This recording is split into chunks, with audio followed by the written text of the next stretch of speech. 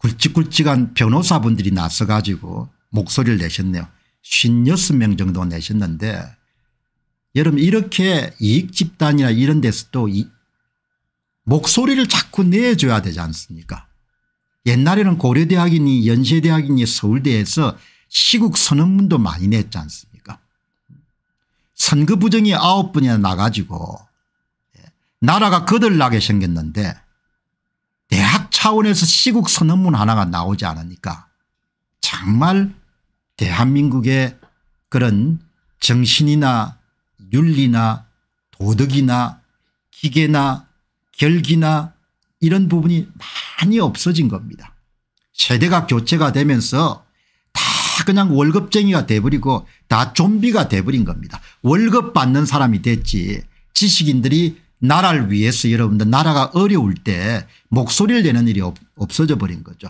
늦은 감이 없지 않지만 선거가 끝나고 3년 6개월이 지나가지고 변호사들이 56명 정도가 모여가 이런 목소리가 전번에 대구 변호사의 한 20여 명 정도가 말을 그 대한민국에 수천 명의 여러분들 변호사들이 있을 건데 다 자기 밥그릇 외에는 아무도 신경을 쓰지 않는 겁니다.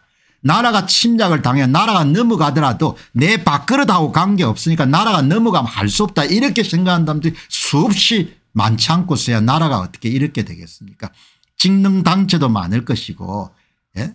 변호사 회계사 변리사 수없이 많을 건데 어쩌면 여러분들 이렇게 전문 직종들에 종사하시는 분들이 이렇게 이기적이 됐는지 예? 대한민국의 고대 연대 서울대 성대 그 수많은 대학 교수들이 있지만 정교모를 제외하고는 한 대도 뭡니까 시국선을 하나 예? 선거 사기가 이런 어마어마한 여러분들 범죄지 않습니까 예? 아무도 이야기하지 않는 겁니다. 여러분 그런데 이번에 굉장히 특이한 것이 54명이 이렇게 발표하셨는데 이번에 아주 특이한 게 나왔습니다. 사람들이 점점 깨우쳐가는 겁니다. 수개표만으로는 충분하지 않다 이야기죠.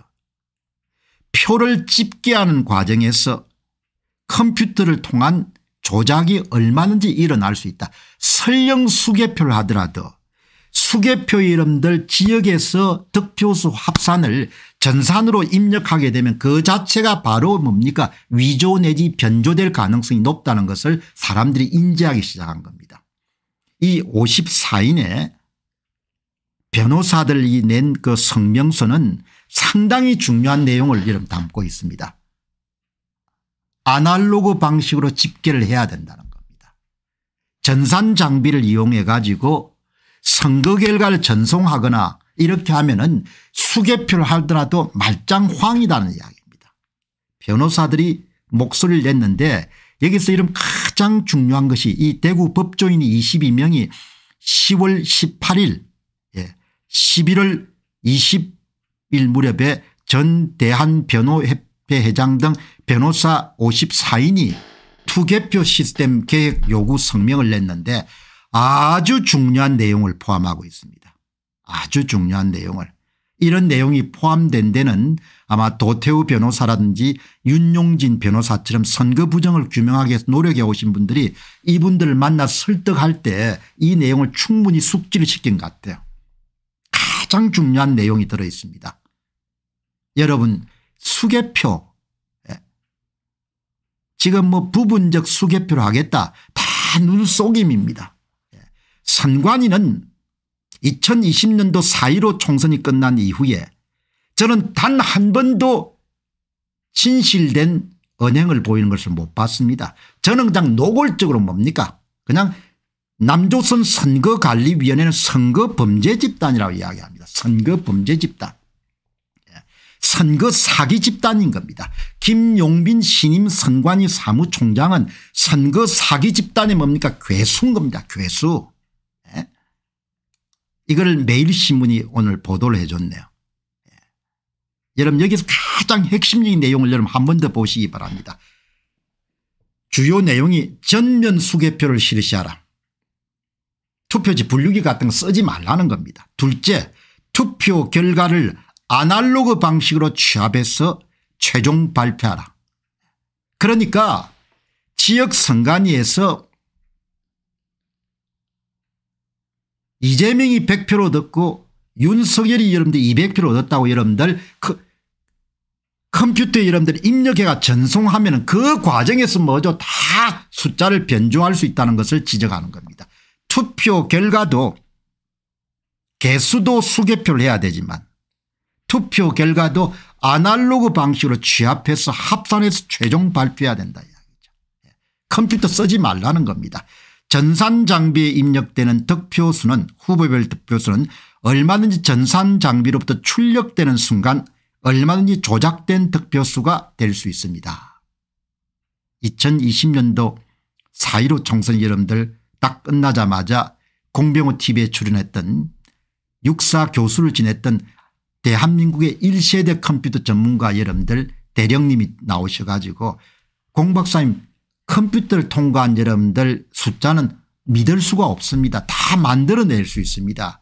그 이야기가 3년이 넘게 지났지만 머릿속에 진하게 남아있는 겁니다. 전산장비에 입력되는 득표수는 출력되는 순간 얼마든지 조작된 득표수가 될 수 있다는 겁니다. 이 내용이 성명서의 아주 마지막 부분에 들어 있습니다. 8번 9번 그걸 여러분 학대해서 보겠습니다. 개표는 전면 수개표로 진행하며 모든 개표소마다 경찰관 2인 이상의 감시하에 개표를 진행하면서 이것을 실시간 영상을 통해 전 국민에게 공개한다. 개표 시 중앙선거관리위원회가 개표 중간 결과를 전산을 통해 취합하여 수시로 중간 발표하는 것을 금하고 각 개표 현장에서 수개표를 통하여 나오는 투표 결과를 아날로그 방식으로 취합하여 최종 발표해야 된다. 유선이나 전화를 해가지고 여러분들 취합하라는 겁니다. 여기 아주 중요한 내용이 나옵니다. 개표 중간 결과를 전산을 통해 취합하여 수시로 중간 발표하는 그걸 금하고 수개표를 거친 다음에 현장에서 전산 장비를 가지고 전송을 하게 되면 그 과정에서 득표수의 위변조가 얼마든지 일어날 수 있다는 걸 정확하게 여러분들 변호사분들이 지적을 하는 겁니다. 개표 현장의 수개표를 통하여 나오는 투표 결과를 아날로그 방식으로 취합하여 최종 발표라. 여러분 오늘 방송 후반부에 지역 선관위에서 여러분들 컴퓨터로 입력한 후보별 득표수를 어떻게 변조하는지 조작하는지를 여러분에 보여드릴 겁니다. 그리고 내일은 예, 그 조작 프로그램까지 여러분들 직접 여러분 들고 나와 가지고 시연을 할 겁니다. 조작을 어떤 식으로 해가지고 여러분들 득표수를 만들어내는지. 예. 여러분 아주 중요한 내용을 오늘 담고 있는 겁니다.